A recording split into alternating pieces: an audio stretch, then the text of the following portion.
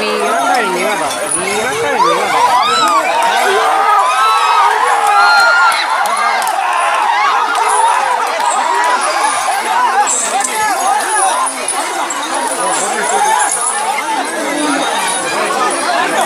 ഭാഗ്യട്ടോ ഈ തലനാരി ഒക്കെ ആൾ രക്ഷപ്പെട്ട്. ചേച്ചി നിങ്ങൾ വഴി നിൽക്കണം നിങ്ങൾ മോളിൽ കയറി നിൽക്കണം